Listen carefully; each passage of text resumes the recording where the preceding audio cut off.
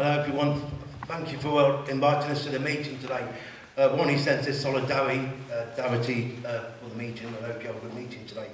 Obvious, um, you've seen what's going around the TVs about uh, McDonald's, where McDonald's strikers took place. It started in a movement in what America, 515, where globalisation, where people were getting proper hours, and where we were fighting for £10 an hour. We've, we've been organising for the past couple of years now um, around the country and it was, it was very hard to organise what are called uh, workers into the trade union movement. And we had about 40 members in two of our, two of our sites, for and Cambridge, where they, put some grievances against what McDonald's on what hours that were cut and also they were bullied if they joined the trade union. And where what are called we had no other option. The union would have took a strike ballot and we won at 90.5% on what called taking action. And obviously seeing the TV, the news, where it, it did make what for the press and it's made Parliament. Jeremy Corbyn is supporting it, the TUC is supporting it now. And what we're trying to do is organise more called McDonald's called workers into the trade union on 4th of September, there was two what strike actions on these two sites, but there were between 30 to 40 what other demonstrations around the country where people what took demonstration, helped out the trade unions, supported by other worker trade unions like RTM, the Fire Brigades Trade Union, various worker bodies were there to support the workers' strike action um, and giving solidarity. One of the things what came out was the strikers were very young, And that made a, a good impression for the trade union because there were young activists taking part into a trade union strike action in Britain today. Because the, the Bakers Union has been formed since 1847. in my time, I haven't seen a young striker going on strike, taking the companies on, putting grievances, and it was, it was a good thing. And a, we brought him into politics, and it's obvious these were the, two, the first two strikes. And it's a start. But what will happen, virtually, we are working with uh, other organisations, and call, carry on more what strikes around the work country to call McDonald listens to us and say we want guaranteed hours and also to recognise the trade union of the Bakers Union. We also what I call, trying to I liaise with other, other, other areas, other people like yourselves to go back into your areas and to organise what call workers um, to join what the trade union movement. You can go into the our web page, you've got an organising toolkit, you've got uh, leaflets, and also what are the and what will support you on that side.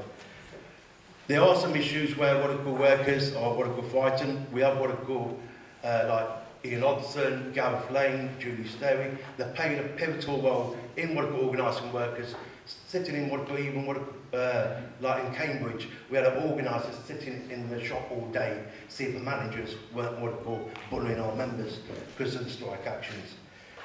We will be doing what are called various demonstrations around the world countries. If you've got various meetings, you know, obviously we can bring the young uh, strikers into it. They were here in uh, the TUC yesterday, uh, supported under various meetings.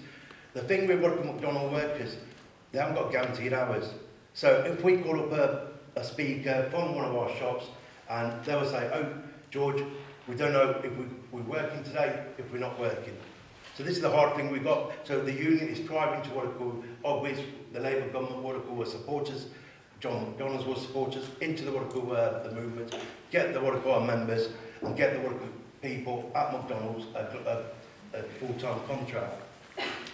We also had, um, if you look at the CEO, he's on what it called 15.1 million. It works out what it called 800 pound an hour, where he's paying not even a living wage to what workers because they're on what called uh, youth rates and various things around the country.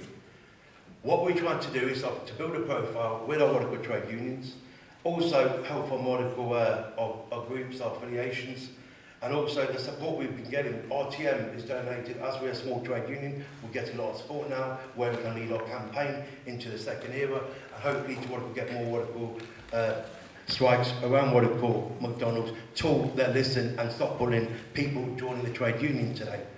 We also, uh, obviously, probably seen some of the McStrikers wearing T-shirts.